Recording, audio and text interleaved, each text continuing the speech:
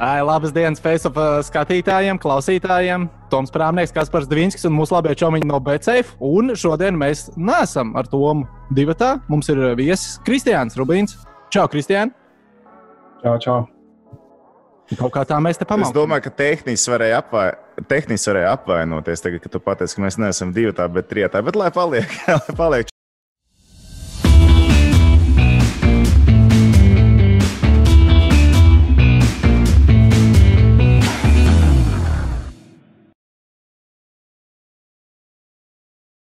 Čau, Kristija, klasies, tu saproti, tagad esi no treniņa ieradies. Jā, vielas ir riņķī, jā, vai kas tev tur? Jā, jā, nē, nu, pamazām jau pamazām ir sākusies tā, tā teikt, iesildīšanās varbūt tam, tam procesam, kad ir jātrenējas nākamajai sezonai. Tā kā neko ar Latvijas Fotoika federāciju. Viņi rīko ledu un sausos, tā kā jā, šodien mums bija piekdiena ledus un, un, un sestdienas svētdiena brīva. Bieži vispār karjerā ir nācies tā, ka tu trenējies un īsti nezini, kā. Nu, okay, tagad ir skaidrs, ka tu trenējies, lai sevi uzturētu formā nākamās sezonas sākumam, bet nu, tieši pavasarī tie treniņi, jo pirms tam noteikti izlases, jauniešu izlases ir bijušas. Nav tagad tāda nedaudz dīvaina. Nē, ir, ir bijis savādāk. Jā, nu īstenībā neviens neko nezina, kas ir nākamo sezonu vispār šogad, jo arī NHL, nu, mums atcēla NHL sezonu, un, un pat NHL, cik sapratu, cenšas vēl pabeigt sezonu. Um, bet uh, ir bijis savādāk, bet arī tāda paša laika bijuši divi gadi atpakaļ, kad uh, varbūt bija savādāk, bet līdzīgi, ka tu trenējies, bet īsti nezinu, kam. Un man sanāca tā, ka pēc pasaules čempionāta gada man uh, līgums bija, līguma nebija līdz pat, manuprāt, augustam. Līdz to man bija tas jūnijas, jūlijas, es trenējos, bet es īsti nezināju, kuras došos vai, vai kuras spēlēšu. Tā kā, um, bija līdzīga situācija, bet, nu, protams, neko nevar salīdzināt ar to, kas uh, vispār šobrīd notiek. Klausies, bet pastāst par pašu motivāciju. Sev ir ledus treniņi, ir sausie treniņi. Nu, zinot, kā bērnu hokeja parasti ir sausie treniņi, vienaldzīgi ledus treniņi ir forši. Ka, kā ir tā izvēle? Tad ir kaut kāda hokeja, kas varbūt neaiziet uz to sauso treniņu, ne tikai uz ledu, vai te viss ir ļoti zolīti, precīzi, kā jau pie profiem. Nē, nu, tu jau tas ir tavs darbs. Es domāju, ka profesionāli jau pārsvarā vienmēr saprot to, ka nu, Galu galā tas ir tavs darbs, un, un, un ar motivāciju tad jābūt viss kārtībā, ar sevi motivēt un, un, un trenēties. Tagad vienkārši nu, tā ir, ka vasara sanāk garāk nekā parasti, tāpēc, bet baigi nē, nu es personīgi nē, ja es saku, es būšu, tad es būšu, un, un, un cenšos izmantot šo, šo laiku priekš tā, lai kļūtu, kļūtu labāks. Cik es esmu redzējis ziņās, eh, sižetus par šiem izlases treniņiem, nu, viņi ir tādā tiešām vieglāk gaisotnē, lai sevi uzturētu formā. Es gribēju painteresēties, vai jūs paši tos treniņus padarat kaut kā interesantākus, jo hoķīt griezt nedrīkst, bet varbūt jūs, piemēram, iekarinat vārtos pudeli un uz 20 eiro metienu no zilās, kurš pirmais trāpa savāc banku. Nē, nē, nē mums, mums nav nekas tāds. Nē, nu, zināmā mērā, pirmajās divās nedēļās, nu, šādi, nu, šādi beidzās pirmā nedēļa Bet uh, pārsvarā ir tā, ka uh, nu, sezona beidzās, tagad visiem bija šī pauze, ja, kad divi mēneši padarīt treniņu interesantāk gluži nevajag, jo mēs viens otru neesam baigi redzējuši, neviens, un, un, un tāpēc ir beidzot forši atsākt to, to visu treniņu gaisotni un redzēt, nu, redzēt čaļus uz ledus un, un, un uh, Galu galā tā ir izlase, līdz ar to tas vēl kaut kāds bonus. Viņš arī zina, kā savu čaļu, ko tu kādreiz esi spēlējis kopā. Tāpēc papildus, papildus nesam neko izgudrojuši, bet nē, nu, mums ir slidošana, mums tur jādažreiz 2-0 iet kaut kas tāds. Bet, um, tāds pudeles, pudeles karnāt mēs neesam noteikti neesam tāds darījuši. Mums redz, bija bumbiņām, tur jāspēlēs vien bija treniņā, tas ir mešpēkā, ka mēs trenējamies. Uh, bija šis koordinācija jāpatrenē, tas bija varbūt tāds interesantāks uzdevums, bet pārējais jau ir lielākoties uh, priekš mums, uh, tā teikt, fiziskajai kondīcijai. Bet pastāstiet tiem, kas tagad skatās, tas treniņi, treniņu process. Tad ir divas grupas tagad. Uh, hokeja izlasē ir, ir veco grupa, sanāk, un ir jauno grupu vairāk. Kā jūs tur sadalāties? Jo viena ir kurbadā, otra ir Volvo. Jā, nu, mums tika sadalīts tās divas grupas. Es īsti nezinu, neesmu otrajā grupā vēl bijis, bet, bet jā, nu, nu pārsvarā tā, ka ir kurbadā ledus un, un, un Volvo. Un mums ar Volvo sanāk tā, ka mums lielākoties ir visi jaunie Jaunie puiši, protams, nepārsniedzot 25 cilvēkus kopā, pašām jau kā 20 sanāk. Um, bet, jā, pārsvarā lielā, jaunāka ceļa, bet mežparkā tāpat uh, ir tie, kas piesakās, tie nāk, tur dažreiz ir arī veterāni, kas atnāk, nu, cik no veterāni tie, tie paši kā, Latvijas izlases spēlētāji, tikai viņi paši trenējas kurbadā. Bet atnāk tāpat trenējāmies kopā. Gluži tā, ka grupas ir sadalītas, varbūt tikai ledū, bet mežparkā tāpat lielākoties tie, kas varbūt netrenējas individuāli, bet tie, kas grib izmantot šo iespēju, tie nāk un, un, un tāpat tās kādas starpības. Um, nu, nav tādas, kā varbūt uz ledus ir, ka mums tur ik pa gadam 97, 98 un, un uz augšu. Nu, man liekas, tas būtu par izlasi jāpapļāpā nedaudz vairāk par tevi pašu. Tu esi mālies cauri Zviedrijas jaunatnes hokeja sistēmai pēdējā gada Ziemeļamerikā, pēdējie divi Toronto, tagad arī divvirziena līgums noslēgts ar NHL klubu. Bet pirmo jautājumu tev gribēju paprasīt, vai tu atceries 2016. gada vasaru, kad bija NHL drafts, jo NHL draftā tev neizvēlēja. Tev pašam uh, bija cerības, ka tu tiks izvēlēts, bija vilšanās, ka netika izvēlēts, vai, vai to tu atceries vispār? Uh, nē, nu es atceros, jā. Es ļoti labi atceros, tajā laikā pie televizora nesēdēju, bet braucu no laukiem mājās. Un, un, un, protams, bija ieslēgts pirmajā raundā, protams, tam vajag neko nevarēja cerēt, bet tāpat jau, zinu, bija tā, tāda, varbūt ne vēlme, bet tā teikt, nu, skatīties līdzi, varbūt tomēr kāds man, kāds man izvēlās. Ja? Uh, bet uh, man, es nedomāju, ka man bija tāda vilšanās, jo man tā, tas gads, tieši tas gads, kad uh, bija jābūt draftām, man nebija man nebija īsti labs, jo man uh, trauma, traumas sāka jau visu sezonu, un uh, pirmo spēli, manuprāt, uzspēlēju decembrī U20. Uh, tā bija mana pirmā spēle. Uh, pirmā spēle, līdz ar to es izlaidu visu pirmo sezonu, tad um, atgriezos pēc uh, U20 pasaules čempiona atpakaļ uz Zviedriju, un pēc jaunā gada sākās, un tad mums komandai arī īsti mēs playoffs netikām. Un, spēles daudz nebija. Man bija, manuprāt, 18 spēles, U18 Zviedrijā un ne, U20. Un, un, un man, manuprāt, kāds 4 vai 5 Alsvenskanā. Līdz ar to man tā sezona nebija piepildīta ar spēlēm un laiku. Tāpēc es arī ļoti tā tieši baigi negaidīju, kad uh, kaut kas tur varētu notikt, bet vienalga tā, tā cerība tomēr pastīties un cerēja, ka varbūt kāds izvēlēties bija. Bet, uh, Katrā gadījumā viss notiek uz labu, un tā ir tāpat arī nosādīja, kā varbūt papildus motivācija, ka nu, nākamgad varbūt tālāk. Un, nē, nu, rezultātā laikam viss, viss notika tā, kā tam bija jānotiek. Bet klausies, tu par Zviedriju stāstīji. 15 gados tu aizbrauc uz Zviedriju. Es nezinu, es tā iedomājos, 15 gados prom no mājām, kaut kur citur aizbraukt. Ej, tu nos, nu, ko tu tur par to hokeju domās? Man liekas, ka tur, tur aiziet ballīt vaļā kā bija vispār savākties un nu, to hokeju fokusēties. Jo man jau liekas, tev 15 gados kaut kur palaiž, ej, tu sazini, kas var notikt. Yeah. Nē, nu, man bija, man bija tāds, uh, vienmēr esmu tāds bija ļoti fokusēts uz mērķi. Un, tā, kad, um, Manuprāt, tas bija kaut kur sezonas otrajā pusē, kad aizbraucu uz Zviedriju uz trajotiem. Um, man, man bija tā, ka man vienkārši viss iepatikās uzreiz. Tā, tā klase bija vienkārši savādāka. Tur bija, kā, tur bija auga, vienmēr ģērbtuvēs, katram bija savs stends, jā, ģērbtuvē vienmēr visu varēja atstāt. Tā kā pie profiem. Jā, kā pie profiem. Un tas arī man tas lielākoties ievilka. Un, puiši arī tajā laikā, kad atbraucu uz Vietbolu, vispār nerunāju, es runāju angliski, tur arī tā. Um, arī ne, neteikšu, ka uh, augstā līmenī, bet vidēji, un čaļi jau tāpat uh, centās man tur runāt, un, un, un tā kā gan izvēlēt, ievilināt. Ja.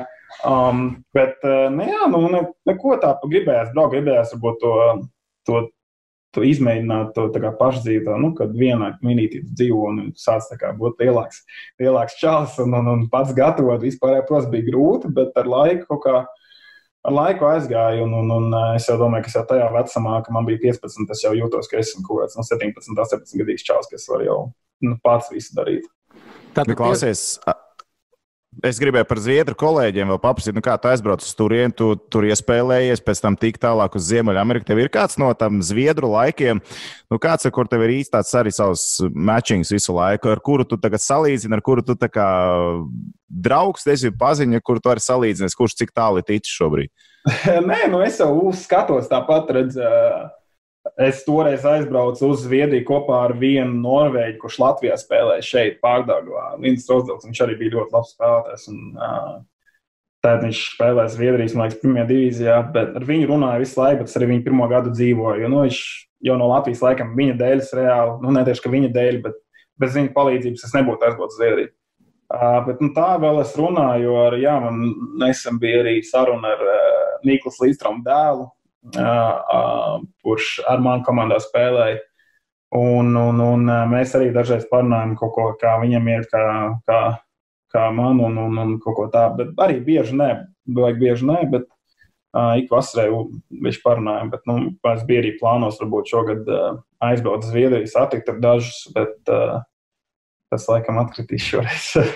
bet labi kontakti tik un tā, Niklas Listrēms, nē, nu var noderēt, var noderēt arī. no, nu, ar viņu jau sarunas nav, nav bijušas, bet, bet ar viņu dēlu, jā, nu. Tā arī dara, arī dara. Arī dara, jā, arī dara. Kaut kad agrāk vai vēlāk jau varēs viņam arī pateikt, tev klausies, var iedot papucīt, es kādu padomu gribu paprasīt. Nē, nu redz, viņš jau mums treneris arī bija toreiz. Viņš mums bija dažiem sestdienas parasti trenījiem nāca, mums trenēja aizsargus tur. Palīdzēja pies, pieslīpēt dažas lietas. Viņš jau tad jau bija jau beidzis, bet nu jā, viņš vienalga ir iesaistīts ļoti tajā hokeja community, saucamajā, tajā arī Zviedrijā. Pagaidiet, pagaidiet, Niklas Lindstrēms palīdz, palīdz treniņos. Tas ir kā nu, parasts tēvs, pabļauj uh, no laukuma malas kaut ko virsū. Nē, viņš nē, nē, viņš bija. Viņš vilka, vilka slīdas nāca, rādīja uzdevumus. Mēs taisījām, tā viņš dažreiz apstādināja, katram pateica kaut kādas mazas nianses. Kā, nē, viņš bija diezgan iesaistīts, protams, ka, tie, ka nebija tā, ka viņš bija katru sestdienu, bet man liekas, ka pirmajā, otrajā gadā, kad es tur biju, tad viņš bija nu, tā, ka viņš uh, nemaldos gadu laikā kādam desmit treniņiem atnāca. Bet tā jau viņa halē vienmēr var redzēt. Viņš tur um, uz spēlēm lieliem nāca un, un, un uz jauniem, uz viņu dēlu skatīties spēlēm. Viņu, viņu bieži varēja satikt. Viņš arī tev kaut kādu padomu individuālo deva tajos treniņos. Jā, deva, deva. Bet nu, tev tik daudz sanāca, ka uh, es vairs neko neatceros, ko viņš teica. Bet, nē, viņš jau noteikti, viņš jau, jau, kad es biju jaunāks, viņš bija mans tāds tā teikt, elks, un tad šī sakrita, kad es pat varēju iegūt tādu iespēju um, ar viņu runāt un, un, un iegūt viņu padomu. Tā kā kaut kā raidā tas sakrita, tā kā forši, forši laiki. Selfiju neprasīja viņam pēc. nē, nē, nē, neprasīja, bet uh, kaut kāds jau bildes, man liekas, ir kur. Kaut kāds komandas bildes, kur viņš ir iekšā. Nu, pēc tam tev ir brauciens uz Ziemeļameriku, jaunatnes līgas tur. Ko tu no tā laika atceries? Uh, no tā laika smagi bija. Tur, tur bija, neteiksim, kad, nu, ja šis brauciens arī, es teikšu tā, ka es braucot uz Ziemeļameriku, biju vairāk uzsaucies nekā, kas bija 15 gadīs, kad braucu uz Zviedriju. Jo? Um, es īsti nezināju, kur es braucu. man nebija tā, ka man būtu kāds ar mani, kurš brauc. Um, Zinu, es atbraucu tur piecas dienas pirms uh, treneris man savāca no Kalgari lidos sved uz, uh, uz Medicine Hat un, un nolika mani, teiksim, tā iepieved pie maniem, uh, manas ģimenes, kuras palikt, un tad, protams, arī nevienu nezinu, un, un, un tad bija tā, ka, nu, jā, un, un, un jārunā, un Wi-Fi jāprasa, tā kā bija diezgan uztraucies par to, kāds viss notiksies, bet uh, beig beigās jau nedēļas divas pagāja, tad jau ļoti ieties, bet tādā ziņā, kad jau pirmā sezona pagāja un otrā sākās, tad vispār bija jau tā, ka, nu, ka tu zini visus. Un, un bija arī ļoti patīkami tur braukt un spēlēt. Tā, tā, tādā ziņā tas bija viss super. Protams, arī braucieni bija ilgi, jo tur autobusu visi brauc. Tur nav tā, ka zin, profesionāls ar lidmašīnām tur bija, tur bija jābrauc. 6 stundas dienā un jāspēlē tajā pašā laikā, un tad jābrauc atpakaļ 6 stundas autobusā. Tie, tie bija diezgan grūti laiki, bet eh, nu, zin, tagad ir tā, ka tagad jau daudz vieglāk, ka tu pierodi braukt tās 6 stundas autobusā, tā, kad profesionāli, profesionāli līgā spēlē, tad tur lidmašīnu visu lidot, tu, tu novērtē to, ka uh, var aizlidot tik vienkārši un arī viesnīcā dzīvot, nevis braukt autobusā, kad panāk. Nu, tagad, iepriekšējās divas sezonas, tu pavadīji Toronto Mērlīs, Amerikas Hokeja līgā. Par Toronto nu, man ir radies priekšstats, nu, tā ir viena no hokeja mekām pasaulē. Maple Leafs spēles mājas vienmēr ir izpārdotas. Vai arī Mērlīs komandā tas nu, līmenis vispār ap vienību pašā vienībā, nu, es domāju, pārlidojumu, dzīvošana, kaut kas tāds ir augstāks nekā citos AHL klubos. Jā, viennozīmīgi. Um, es, cik esmu runājis, jā, mums, uh, mums tiek dot, dots vairāk, bet arī no mums vairāk sagaida. Um, tā kā mums ir rokas pusdienas un, un arī labās viesnīcās vienmēr paliekam. Protams, dažās vietās jābrauc autobusu, bet lielākoties lidojam. Tā kā ir tādā ziņā ļoti, ļoti augsta klase un, un, un zin, kā, tas, tas līgas arī viņiem ir ļoti savienotas. Nu, ne līgas, bet komandas Maple Leafs Toronto. Um, tā ir tā kā, nu, viena komanda apmēram, un visu, ko Maple Leafs dara, to arī mēs darām. Un, uh, kā visas tās sistēmas arī uz ledus un ārpus, un visi tie noteikumi arī tādi Uh, nu, zin, kā, kas jāievēro, lai visas tās dotības un resursi, ko dod Maple Leafs, arī mēs saņemam. Tā kā es viennozīmīgi piekrītu to, ka um, nu, Mālīs ir uh, augstākās klases komanda vai organizācija AHL.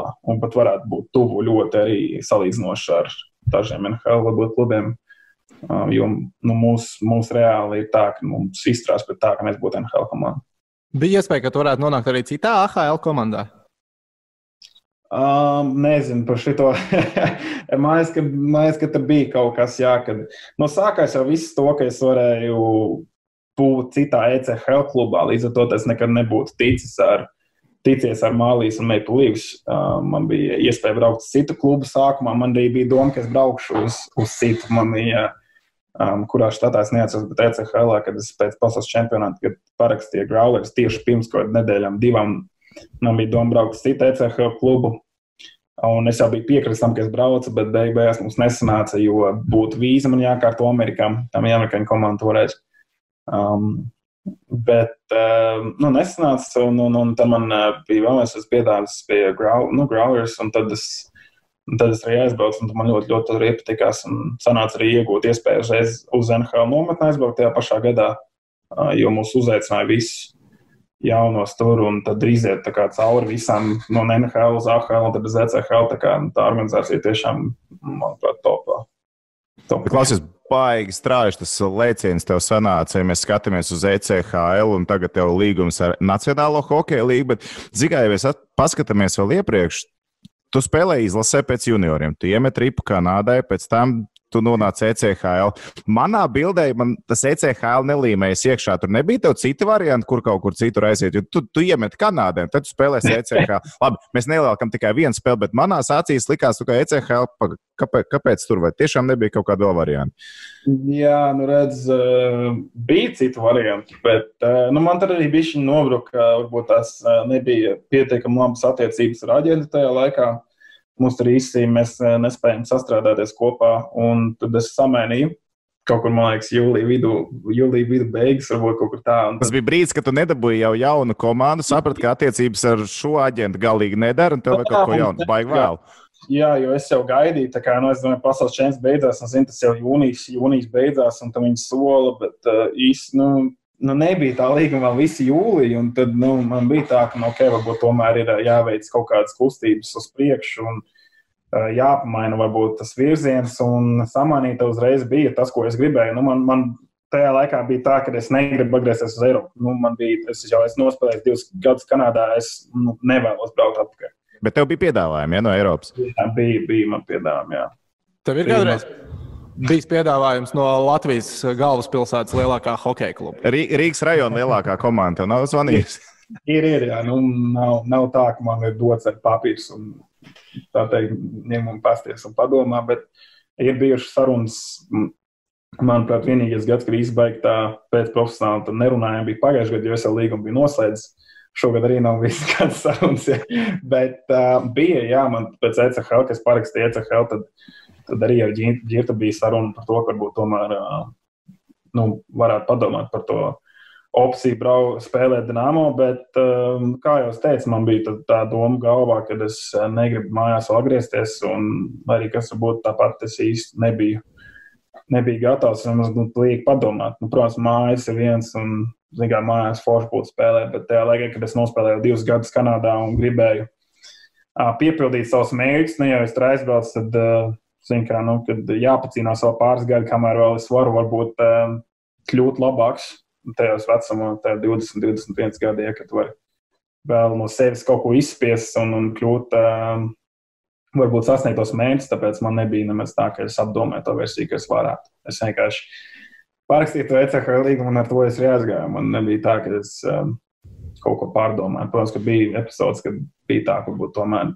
zin, ka varbūt, varbūt nevajag. Bet, Bet, nē, nu, paņēma aizbrauc. Un, nu, tagad mēs redzam, ka tā nebija kļūda. Tagad mēs redzam, ka tā absolūti nebija kļūda. Bet, klausies, jau par Amerikas Hokeja līniju runājot, nu, daudzi saka, nonākt Toronto sistēmā nesot tas pats foršākais, nenormāls spiediens, esot. Tu arī to izjūti. Jo, nu, tomēr Kanādā hokeja spēlēt ir Kanādā spēlēt, nevis kaut kur, nezinu, Kalifornijā vai vēl sazinu, kur, kur tas vispār, man liekas, pat NHL daži bija ar aci tā drusciņu pievērst. Kā ir ar to spiedienu spēlēt Mārlīs komandā? Tur ir kaut kā, kā to vispār izjūt? Nu, es jau laikam pieredzēju, esmu. Nav jau tā. bet, nē, nu, kā jau saku, nu, ja tev dod daudz, tad no tevis daudz sagaida. Un, uh, mūsu tiešām izstrādās, tā kā mēs, nu, tā kā labākā organizācija tiešām ar visiem resursiem, ko viņi ir gatavi darīt priekš mums, lai mēs ļūtu dienu, dienu labāk. Tad, protams, ir tā, ka, ja ir spēles, nu, ir spēle, tad no tevis sagaida, um, ka tiks, uh, neteiksim, baigie tur rezultāti nāks, bet tas, ka tu centies, ka tu gribi un kad tu spēlē, protams, man pirmajā gadā, jā, kad pirmajā gadā, kad spēlēju AHL, um, no ECHL, kam masauc uz AHL augšā, tad man bija tā, ka es biju ļoti, nu, tādā Uh, stresēns, varbūt, ka nu, es tiešām ba, neteikšu, baidījos, bet man bija tā, ka rokas trīcēja pirmajā spēlē, nu, kad okay, es māku LT, tas man bija jau kaut kas, kaut kas liels. Un, um, bet pēc tam vienkārši ļoti tā atmosfēra ir ļoti vienkārša. Tu ļoti, nu, daudz, daudz cilvēku, bet tajā pašā laikā viņi, ja viņi sagaida no tevis daudz, bet nav tā, ka tu te, te uz halu nec, tev nerunās, un viņi grib redzēt, kā tu spēlē. Zin, viņi, Viņi dod tev iespējas, tu pierādi, bet tajā pašā laikā viņi ar tevi runā visu laiku. Nu, ir ļoti zelītas un pozitīvas attiecības. Nav tā, ka um, arī komandas biedri ļoti forši. Viens to treneri ir pretīm nākoši ģenerālmenedžeri un, un, un skauti, kas skatās, un attīstības treneri. Visi ļoti, ļoti tādi forši un gatavi tā palīdzēt. Uh, ja arī saka, nē, tad ok. Nu, bet, uh, Tā ziņā super vispār. Man. Klausies, ap Babkuks arī pie jums bija atnācis kaut kad parunāties. Tad, kad viņš jau bija treneris, tad, kad viņš jau bija lielās komandas treneris, viņš nāca ar jums komunicēt, vai viņš vispār bija citā līgā, citā, citā pasaulē? Nē, nē, viņš, es nezinu, kā ar AHL, bet nu, viņš skatījās, droši vien, ka skatījās spēles, bet nu, viņam jau jāsāc tā kā augšā tie spēlētāji, tad es pieļauju, ka jā, tas man liekas, manuprāt, visi treneri tā dara, bet uh, bija, bija spēles, kad Uh, mums kaut kādi 15 cilvēki no Maple Leaf skatījās mūsu ECHL spēli, kad mēs spēlējām Toronto. Tāpēc, uh, tur ECHL, kad mēs spēlējām Mississauga, tad bija spēles dažas, manuprāt, trīs sezonas četras. Um, Arēna nebija pilna, bet uh, vienmēr varēja redzēt, ka sēž no Toronto Maple Leafs uh, arī pats ģenerālmenedžers ir bijis un treneris galvenais to Bētkoks tajā laikā, Maik. Ja. Um, Tā kā nē, viņš viņi, jā, skatījās, protams, tas, mēs neko nezinām, ko viņi tur sarakstījuši, bet bija vienmēr skatījās mūsu spēles, un, bet vienmēr jābūt gataviem, jo te pašā laikā mūsu arī treniņi skatās visu laiku un tiek ierakstīti, un spēles tiek ierakstīts, un visi atskatās spēli. Tā kā ļoti daudz cilvēki mums, kas, kas skatās, kas skatās spēļu atkārtojumus, vai arī tajā pašā spēles laikā un pierakst visas lietas, lai pēc tam nākamajā dienā treniņā varētu palīdzēt noteiktam spēlētājam kļūt labākam. Tu jau divreiz minēji, ka Toronto sistēmā tev daudz dod, bet daudz arī prasa. Nu, pirms tevis eh, Toronto sistēmā Mārtiņš Dzirkals mēģināja sev pierādīt. Nu, varētu teikt, ka viņam neizdevās. Četras spēles AHL viņš nospēlēja, bet nu, no turienes palielam tika izspļauts ārā.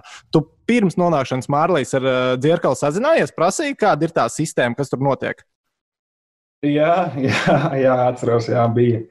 Um, bet bija tā, ka es biju parakstījis ar uh, ECHL, un es īsti, nu, protams, uzskatīju, ka jā, tas ir Maple Leafs, bet man nebija tā, ka es būtu tik tālu aiziešu viņiem. Um, bet, jā, mēs bijām krūku kurbadā treniņos, un man vienu dienu nācās viņu, viņu vest mājās. Nu, cik nu nācās, viņš man pateica, es redzu. Labi, es tev aizdīšu mājās, nu, es viņu tad vedu mājās, un tas viņam tā arī varbūt bija viņa uzjautāja, nu, klausies, kā tu tur kā trīs varētu būt, bet pat Sigrids Ziekals spēlēja Solarbieros, toreiz ECHL, kas bija toreiz Maple Leafs fanklubs ECHL. Viņš īsti daudz nevarēja pateikt, bet uh, viņš pateica, ka tur viss super, kaut ko, nu, ka, ka tiešām zolīga organizācija un uh, ka būs, neteiks, būs šokā, bet tev ļoti te patiks, bet nebija tā, ka viņš pateica to, lai es te baidītos no kaut kā vai arī kaut kas tāds, kas tur īstenībā nav. Um, nu, jā, varbūt nesanāca viņam, bet nu, viņam jau viņš arī vēl jauns, manu vecumu, tā kā viņam arī viss priekšā. Klausies, es vēl tā tagad sāku līmēt to bildi kopā, un es atceros vienu momentu no šīs sezonas. Skaidrs, ka gan jau to arī zina. Uh, Toronto Maple Leafs spēlē Karolīnas Hurricanes, un tur uh, tas emergency goalī tika izmantots Davids Eirs. Uh, viņš jums treniņos arī mazums nav parādījies kaut kādā brīdī, kā ir. Ja? Nu, jā, viņš jau ilgi. viņš visu laiku ar jums strādāja. Jā, jā nu viņš ir. Um, Tik sapratu, kādreiz viņš bija tas uh, Zambonī drivers, bet Manuprāt, viņš jau kādu laiku to nebija, bet viņš bija uz mūsu treniņiem nācis. Mums bieži bija tā, ka varbūt kāda pasaules augšuma mums nav tā otra vārdsarga, vai varbūt, ka mums ir ilgāk treniņi, mums ir trīs vārdsargas. Atkarībā no dienas, bet uh, viņš brauca, jā, viņš bija jau pirms tam trenējies ar mums. Um, Tā kā nebija, nu, mēs jau visu viņu zinājām. Un viņš arī Maple Leafs trenējās. Dažreiz bija tā, ka viņš no rīta uz Maple Leafs un uzreiz pēc tam pie mums. Tā kā viņam bija divi treniņi pēc dienas. Bet, nē, forši čalis tiešām. Un, un, un mēs tieši bijām Montreālā, kur mēs, eh, mums bija tā saucamais rookie partijas tajā laikā, eh, kas ir visiem jauniešiem, tas tā kā iesvētības komandai. Un, eh, un tad tieši izskatās, klausies, Deivids spēlē NHL pret Maple Leafs, un tas bija tāds wow. Un, Viņš ir normāls vārds, sargs. Ir. Uh, nu kāds ir viņš NHL spēle uzvarēja? Protams, ka viņš ir normāls vārds. bet, nu, redz, jā, nu, viņš ir NHL. Viņš tā nospēlē uzvarēt to pašu, tad jāliek maps, jā. Bet, nē, viņš, viņš tiešām trenējas katru dienu, kad viņš bija pie mums. Viņš varbūt ir gados cilvēks, es pat īsti nezinu, cik viņam bija. Man liekas, 41 bija. Kaut kas, jā, nu, pie, tās robežas, bet Nē, viņš ļoti, tāds, ļoti grib kļūt labāks un trenēties. Viņš ar čaļiem ļoti daudz runā, izbauda laiku. Tādu. Um, bet, uh, protams, ka viņš jau gados zin, vēl nav uzspēlējis tā īsti NHL, tāpēc uh, tas bija tāds lielāks šoks. Um, redz, Es, gri, es gribēju prasīt, vai viņam snīps eh, nebija pēc tam pa debesīm, bet tā kā tu pieminēji tādu terminu kā rookie partija, es gribu pajautāt, kas ir rookie partija. Tas man tagad interesē vairāk.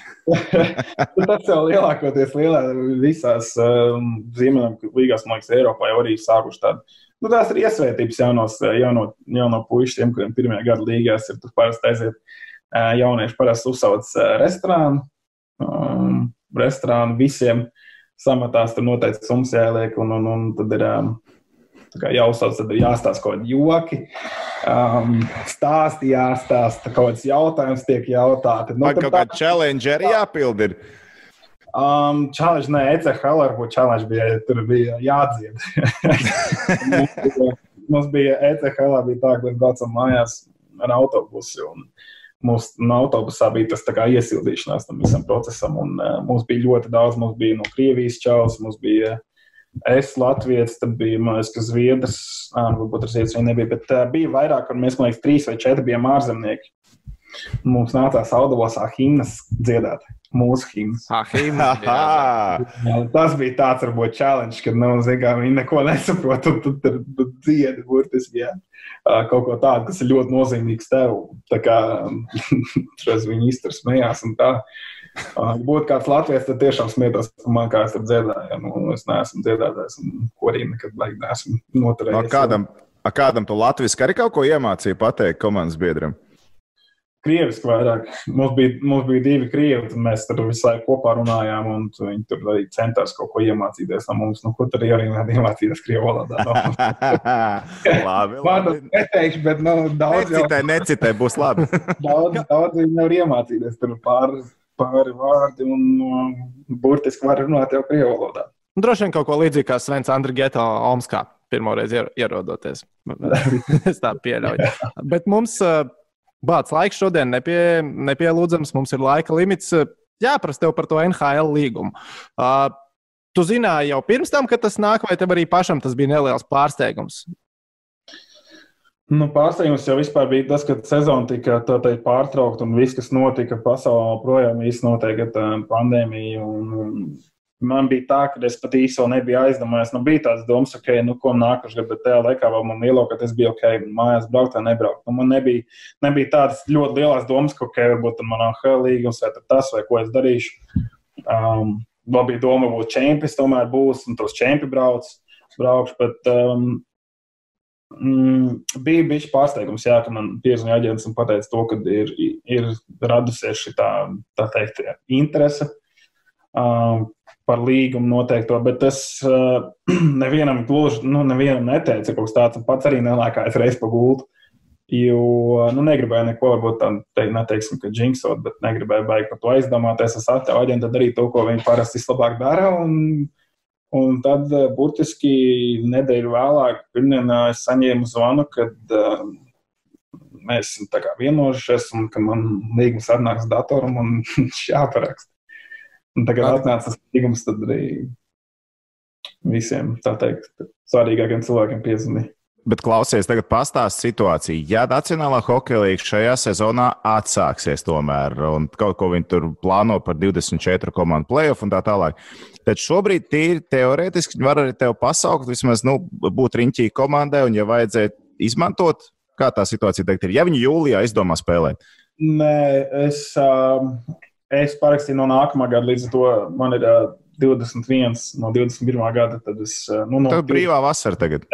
Jā. Uh, nu jā, man sezona, man šogad šis gads bija uz, uz AHL līgumu, un sezona tika atcelta, un tad man nekā viss. Nu, uh, protams, ja viņi atsāks, man pasaukt īsti nevar. Ja nu vienīgi parakst vēlreiz. Bet, uh, nē, nu. Aizsūt viņiem, ka tu trenējies tagad, varbūt viņiem interesanti paliek. Tāpat, protams, var teikt, veids, tā kā viņi zina, ko es daru un vispārējais.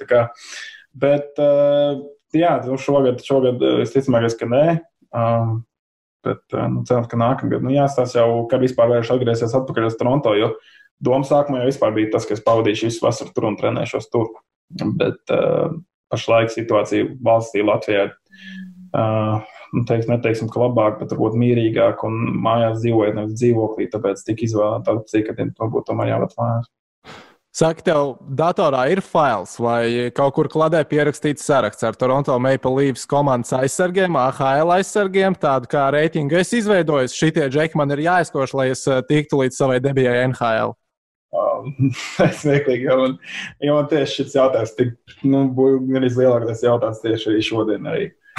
Bet, um, nu, ko, nu, nē, nu, nav. Es, protams, sekoju līdzi, kas tiek kas tiek parakstīts, un mm, varbūt, nu, nezinu, nu, jā, nu, parakstīts, saka līdzi, kas notiek, bet um, nav tā, ka es tādu visu vārdu norakstu, un klausies šito es savu es nevaru. Ne? Es, es, es baigi nedomāju, es, nu, tie ir mans komandas biedri. Uh, es pārsvarā salīdzinu ar sevi, ar, ar sevis vakardienu, tā teikt, un cenšos tādā, tādā veidā kļūt labāks un būt tas, kur izsauc, nekā vairāk domāt par, par citiem un, un vispārējo. Bet, nu, Tādā ziņā tāpat skatos, un forši, ka tiek veidot komanda un komputācija un tiek parakstīti ļoti labi spēlētāji. Tagad tas jau viss padara vēl interesantāk. Nu, rekā, klausies, laiks, man liekas, ir aizritējis tik tālu, ka mums tev jāliež to tūlīt, kaut kur bija jābrauc tālāk. Jā, jā man brālis tremiņā. Oh, Svēta lieta, klausies. Nu, tev ir kaut kas vēl kas par prasāms. Mm, laikam, ka nē, jo, ja brālis ir jāvada uz treniņu, ģimene ir svēta lieta. Tad, tad, tad, tad vairs Kristiānu nekavēsim. Bet es domāju, mēs esam atstājuši kaut ko arī uz galda, un mums būs iemesls ar Kristiānu sazināties uh, pēc kāda laiciņa, uztaisīt otro epizodu. Vai ne, Džeki? Nu, jā, ja to par rūkīju partiju tā īstenībā nespēju uzjautāt, neko pastāstīt. Man, man ir niansēs jautājumi par rūkīju partiju. Es gribu zināt ēdienus, es gribu zināt dzērienus, es gribu zināt, kāda ir playlist. Es to visu gribu zināt, bet to mēs prasīsim nākamreiz. Kristiāna, paldies tev, lai veicās. Paldies arī visiem, kas skatījās vai klausījās. Cerams, ka jums patika. Ja patika, izšķīt uz augšu, subscribe podziņu. Jūs jau zināt, viss kā parasti. Yep. Ok, čau, Džek. Paldies, tev, Lies. Čau, čau. Yes, čau.